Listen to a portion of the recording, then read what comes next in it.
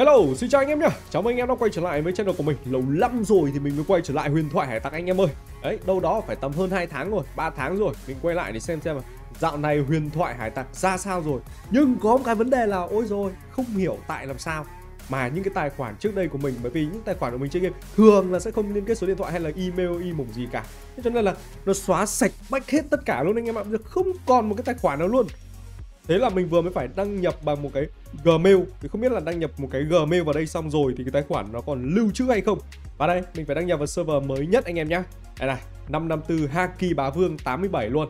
Vào luôn cho anh em xem. Ừ mình cũng bâng khuâng không biết là ở trong này thì uh, thời điểm hiện tại huyền thoại hải tặc đã cập nhật những cái gì có những cái gì nổi bật tướng tủng như thế nào em nào là meta ấy anh em nào mà vẫn còn chơi huyền thoại tặng tặc nhớ để lại comment ở bên dưới cho mình biết với nhá. Và nếu như anh em muốn mình làm thêm nhiều video về tựa game huyền thoại tặc này thì cũng có thể để lại comment ở bên dưới để mình còn biết nha. Ok let's go. Đây thực ra thì mình cũng có chơi được à, à, uh, 20 phút rồi. Thì vào đây à, uh, 20 phút là ngày hôm qua nha. Ờ mình vào mình thấy là đăng nhập vào tải dữ liệu các thứ xong thì hôm nay mình quay trở lại vào nhận thưởng. Phát xem nào. Dương afk ui dồi full 10 tiếng rồi cả. Ấy lên được cấp 32 anh em ạ. Đấy, mở ra cái à, đấu trường đúng không? À chiến dịch à? Ok vào phát đi. Vẫn phải làm cái nhiệm vụ tuân thủ tí anh em ơi. Ừ tướng tùng không biết là như thế nào đây. Rồi. À, à. đi luôn? Chopper. Đồng chán đời thật. À, để mình vào xem nào. Giao diện thì vẫn vậy này. Tuần này sự kiện đang là cái gì đây? Có vượt ngục này. Ừ, có vòng quay xúc xích này ra vòng quay xúc xăng nhưng mình cứ gọi là vòng quay xúc xích anh em ạ, bởi vì rất là thích ăn xúc xích nha. Anh nhiều one piece. Anh nhiều one piece. Ô ok vẫn vậy thôi. Tám hiểm one piece. Ui chưa có hôm qua nhưng chưa điểm danh anh em ơi.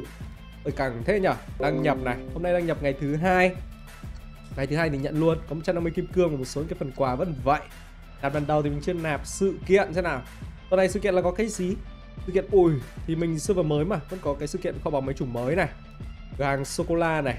Vòng quay siêu cấp này wow vẫn vậy thôi. Lễ hội trang bị sắp kim cương. Ui vòng quay ác quỷ á? À, vòng quay ác quỷ thường cái này có phải là mới sao nhỉ anh em nhỉ? Vòng quay ác quỷ thường á? Vòng quay ác quỷ cao cấp. Ủa cái này ở đâu ra vậy? Mới vậy? Ờ ảo nhỉ? Vòng quay ác quỷ đâu anh em ơi? Vòng quay ác quỷ vòng quay ác quỷ vòng quay ác quỷ vòng quay ác quỷ. Ủa ở đâu ấy? Ơ ờ, nào nhỉ? Nhanh nhanh lên một số phần thưởng này ủa nhưng mà mình không thấy vòng quay ác quỷ đâu. Có anh em nào biết để lại comment ở bên dưới cho mình biết với được không? Thế rồi ao meta quá rồi anh em ơi. Rồi để mình xem xem là bể tướng có những em tướng nào xịn sò con bò hot hit không anh em nhá. Ờ, thì xem luôn tướng ờ, bền bỉ đi xem nào. Dephia Akainu vẫn vậy thôi. Ở ờ, Brook Vanor thì vẫn vậy không có vị tướng nào mới cả nhỉ? Hết Nhanh nhẹn xem nào. Ui Nhanh nhẹn có tướng mới này. Karasu Karasu Karasu là một vị tướng mới Em này là một vị tướng xạ thủ anh em nhá. Nhưng mà không biết là vào cuốn trục chưa ta? Ờ, để mình xem bộ skill xem nào. Nộ bản thân tầm 40% công duy trì trong vòng 4 lượt sau đó tấn công toàn bộ kẻ địch gây sát thương bằng 40% máu tối đa của kẻ địch máu cao nhất. Ồ! Oh, và tối đa bằng 1500% công của bản thân Tức là em này phải nâng full vào công rồi. Và lại còn gây sát thương bằng 40% máu tối đa của kẻ địch nữa cả à? Ảo nhờ. Hay đấy chứ. Ờ phụ thuộc vào máu cái địch Mày Thế thì có một số em, Ngày xưa mình thấy có một số em kiểu như là Zephyr hay là Bullet cái kiểu đấy nhở? Mấy em đấy mà nâng vào máu ấy, Thì bây giờ Karasu này sinh ra để khắc chế mấy em đấy à? Hay thế! Đồng thời có 80% cơ hội, Nhưng mà em Karasu này ở tập bao nhiêu anh em? Sao mình thấy nó lạ vậy? Quả kia các thứ luôn. Hôm qua mình vừa có ghé qua cái tựa game One Piece Treasure Cruise, là cái tựa game Ừ, mình cứ nói là cha đẻ của tựa game này bởi vì là ở bên đấy có rất là nhiều tướng ra trước sau đấy thì bên huyền thoại tặc của mình sẽ ra những cái vị tướng tương tự như thế. Ờ cũng có vị tướng này thì mình thấy nó lạ vãi cả nổi luôn anh em ạ. Ừ. Chưa biết là ở tập nào luôn. Ơ ờ, từ từ khoan. Cái gì đây? Đồng thời có 80% cơ hội kích nổ toàn bộ hiệu ứng bụi than. Bụi than bụi than. Ôi anh này nướng thịt à? Hay nào có bụi than nhở? Dấu ấn lên lên mục tiêu và phát nổ sau hai lượt dấu ấn lên mục tiêu và phát nổ sau hai lượt, gây sát thương trực tiếp. Sát thương chuẩn á. Bỏ qua giáp giữa các kiểu luôn à. Ui dồi ôi, mạnh thế. Bằng 800% công mà gây choáng. Ui, trong vòng hai lượt luôn này. Kẻ địch bị tiêu diệt bởi sát thương từ dấu ấn này sẽ không thể hồi sinh. Không thể bị xóa. Ui khắc chế luôn vào mấy em tướng hỗ trợ hồi sinh luôn ạ. À. ui ôi, nộ xịn thế. Bị động là tăng công thủ các kiểu thôi, sát thương chuẩn luôn này bị động tức là đầu mỗi hiệp tạo dấu ấn quạ đen. À lại có một dấu ấn quạ đen nữa. Nên toàn bộ đồng đội duy trì hai hiệp, bản thân tăng vĩnh viễn 30% xuyên thủ và 30% sát thương chuẩn. Ui, em này có sát thương chuẩn hay đấy. Đi săn boss các thứ khả năng cũng được đấy nhỉ. Bởi vì có sát thương chuẩn mà. Ui, đi săn boss mạnh đấy chứ. Họa đen là người à người sở hữu dấu ấn khi tấn công bằng đòn đánh thưởng. Nộ, bị động có 80% cơ hội gây kèm hiệu ứng bụi than lên kẻ địch. À tức là cái hiệu ứng quạ đen này lại là người sở hữu dấu ấn khi tấn công bằng đòn đánh thưởng. Nộ. À nhưng mà cái tỷ lệ nó chỉ là 80% thôi, giá như 100% thì em này lại mạnh quá nhỉ. Thôi rồi, 80% thôi là hợp lý rồi anh em ạ. Bị động lực kích hoạt mỗi lần mỗi trận đấu. Khi màu dưới 80%, bản thân xóa toàn bộ hiệu ứng và trạng thái xấu và gây một tầm bụi than này. Ui em này mạnh thế.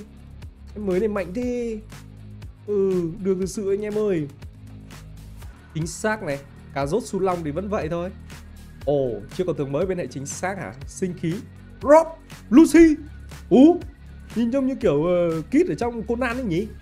Rob Lucy à? À 40% xuyên thủ cho toàn đội. Đất nhỉ?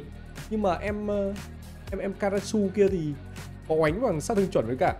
Còn cho vào tối đa ở kẻ địch rồi thì mình thấy là kết hợp với em này cũng chưa cần lắm nhỉ? Sau đó tấn công kẻ địch cao nhất. À, xóa ba hiệu ứng. Ủa? Nói chung là mấy em tướng này nhiều em tướng mới ghê ha. Em này là em thứ hai rồi anh em ơi tăng chỉ số và gây sát thương 500% công kèm 70% máu tối đa của bản thân em này là bền bỉ, chỉ huy à? Nhưng mà em, mình mình thấy em này có vẻ như không gây ra được nhiều sát thương lắm, giống như kiểu là em Karasu nhỉ anh em nhỉ? Đây là chủ yếu là xóa hiệu ứng này, tăng chỉ số này. Nhưng mà gây sát thương 500% công kèm 70% máu tối đa của bản thân, thế là em này phải lên full máu à? Ờ hay nhỉ? Thông minh Blackbeard Chiki. Ơ dâu đen bây giờ có còn meta không anh em nhỏ với cả Shiki nữa có còn meta không ta khả năng vẫn còn chứ đúng không đây hai này mạnh mà minh mẫn ui minh minh mẫn cái gì đây mihawk uh, mihawk samurai thì lâu nhưng mà đây này tứ hoàng xanh à ôi từ từ từ từ từ từ nha nộ ngắn đấy Ủa nhưng mà sao nộ của em túi xanh nó ngắn nhỉ hệ kiếm sĩ luôn này uh, bản thân tăng 40% sát thương chuẩn duy trì trong vòng 4 lượt sau đó tấn công toàn bộ kẻ địch 3 lần. 40% sát thương chuẩn duy trì 4 lượt này. Sau đó tấn công toàn bộ kẻ địch 3 lần này. Mỗi lần gây sát thương bằng 200% công, kèm sát thương bằng 10% máu. Tổn thất của mục tiêu, tối đa là 1.000% công và giảm 15% sát thương của kẻ địch. Duy trì 4 lượt của đi đi đi đi tăng 40% sát thương chuẩn xong làm gì nhỉ? Ừ anh có gây ra sát thương chuẩn quá đâu. Sau đó tấn công toàn bộ kẻ địch 3 lần. Mỗi lần gây sát đây nhưng mà gây 200% sát thương này là là là 200% sát thương chuẩn hay là như nào? Ừ. Như nào nhỉ? Chưa hiểu lắm nha. Bị động là tăng bản thân công này, tốc độ nộ xuyên thủ này, 60% miễn sát thương chuẩn này.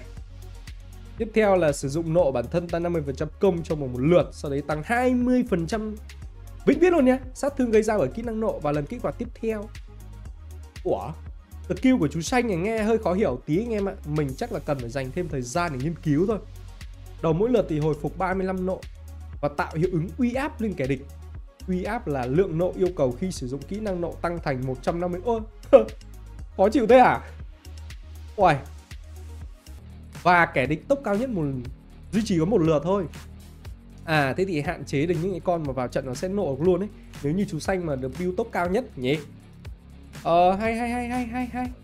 Nhưng mà đầu mỗi lượt luôn này. Ờ hay.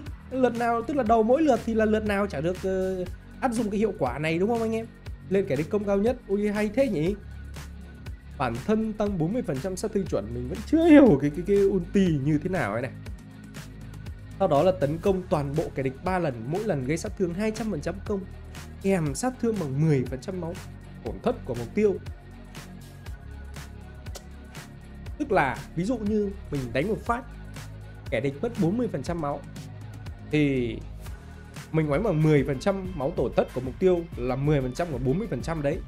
Nếu như oánh thêm phát nữa, tổn thất tổng cộng là 60% HP à thế tức là càng đánh thì sẽ càng mạnh. HP của kẻ địch xuống càng thấp thì cái tỷ lệ kết liễu được mục tiêu của chú xanh này sẽ càng càng cao. Ừ nhưng mà bâng khuâng ở chỗ là tăng 40% sát thương chuẩn, nhưng mà sau đấy tấn công thế này thì có gây sát thương chuẩn hay không? Ừ đấy, nó là như thế. Khả năng là sát thương chuẩn đấy chứ, thì cái phần trăm sát thương nó gây ra mới là 200% công. Chứ còn nếu không bình thường, những cái vị tướng khác thì vừa có xuyên thủ, vừa có cái khả năng gây ra sát thương thì nó phải là 500% chứ, kiểu như là Rob Lucy. Vừa mới đây này. Đây này. 500% công này, đúng không? Nó là như thế mà. Đấy là mình đoán như vậy thôi. Thế thôi, thì hiện tại là mình thấy có mấy vị tướng mới. Ok ấy nhở không biết là vị tướng nào đáng chơi đây. Để mình check qua xem là, bởi vì là mình nhớ server mới kiểu gì cũng có một cuốn trục L1 được tặng cái này. Đây này, để mình xem xem là những em nào đã vào trong cái cuốn trục L1 đấy rồi. Ơ Karasu vào rồi. Rob Lucy vào rồi. Ơ, lấy vị tướng nào anh em ơi? Lấy vị tướng nào lấy lấy lấy lấy, lấy, lấy, lấy vị tướng nào trong hai em này nhỉ? Anh em để lại comment ở bên dưới để video tới thì mình sẽ lấy nha anh em ơi. Còn bây giờ mình có 41 cốc bia vàng và 20 thùng bia. Mình sẽ đi chiêu mộ luôn anh em ạ. Ờ, chiêu mộ luôn này. Chiêu mộ luôn này. Ê... hay là lấy Karasu nhỉ anh em nhỉ? Mình thấy Karasu là một trong vị tướng tấn công mạnh ấy. Hay để mình lấy Karasu đi. Để mình xem nào. Karasu là lại lại lại lại anh em nhé. Nhanh nhẹn đúng không? Nhanh nhẹn à thế mình sẽ chiêu mộ thử cái nhanh nhẹn đi. Xem như thế nào. Nhanh nhẹn bây giờ còn những vị tướng nào mà còn ở trong meta nữa không nhỉ? Kiểu một công đôi việc ấy. Có Bartolomeo luôn. Ờ, cũng vẫn được. Ờ, Bartolomeo chắc là có khiên cái thứ đấy thì vẫn ok nhỉ? Chính xác thì Jinbe này. Sinh khí sinh khí sinh khí thì ở ờ, tạm thời chưa thấy nào mấy. Thông minh nữa à nhầm thông minh thì có chiêu mộ được quái đâu. Mình bỉ mình bỉ mình bỉ mình bỉ. Zephyr Zephyr chơi không ta? Ôi thế thì cứ nhanh nhẹn đi bởi vì nhanh nhẹn là vừa có Karasu vừa có Bartolomeo nghe vẻ là hợp lý đấy. Chiêu mộ lần này mình nhện luôn này 20 thùng nha. Biết đâu ra luôn thì lại ối rồi quá nhở nữa đi. Chà, không ra được anh em ạ. Ê, định thử nhân phẩm tí nhưng mà không ăn thua anh em nhá. Úi giời ơi. Ok, lính súng này. 41 uh, cốc bia vàng. Đấy, mình tiếp tục là chiêu mộ nhanh bằng cốc bia vàng À nhầm, bằng bằng ở trên PC ấy. Thực ra thì nhớ anh em khi mà mình chơi game cũng hỏi là tại sao mình có thể chiêu mộ cốc bia vàng nhanh như thế. Thì do là mình chơi bằng cái giả lập ở trên PC thế thành ra là mình cứ ấn enter ấn cái phím enter ở trên bàn phím ấy thì nó sẽ chiêu mộ nhanh thôi mà. Thì nếu như anh em nào mà muốn chiêu mộ nhanh như mình thì cũng có thể tải cái giả lập mình để luôn cái đường link ở dưới phần mô tả để cho anh em tải nhé đấy sẽ tải về sau đấy cài đặt uh, huyền thoại tạc vé thôi. Sau đấy là làm tương tự như mình là ok mà. Nó đơn giản thôi chứ không có gì khó anh em ạ. Để thêm 10 thùng bia nữa này. Tiếp tục mình sẽ chiêu mộ nhá. Thùng đặc biệt này. Cứ nhanh nhẹn là mình vã này ừ nhưng mà chưa ra được. Thế nhưng mà tuần này ấy, để mình xem xem nào tôi chết rồi. Khả năng cao là mình phải tích thùng bia lại đây anh em ơi. Chứ tuần này mình chơi ở đúng cái tuần mà nó nó không có thùng bia anh em ạ à chứ nhầm nó không có tướng mới anh em ạ. Thế này thì sẽ rất là khó cho mình nha. Chiêu mộ đặc biệt đây này. Đấy. Nó không có tướng mới thì nó hơi lãng phí tí. Bởi vì bình thường nếu như có tướng mới thì mình xả cái thùng bia đấy. Chắc chắn là nó sẽ ra được những cái vị tướng mới luôn đúng không? Thế mà bây giờ nó lại không có tướng mới thì hơi phí nhỉ? Vâng, để, để mình tích thùng bia lại tuần sau chơi nhá. Thì nếu như anh em nào mà muốn mình làm thêm về cái huyền thoại hải tặc này nhớ để lại comment ở bên dưới nhá. Còn bây giờ thì xin chào và gặp lại anh em ở những video tiếp theo. Bye bye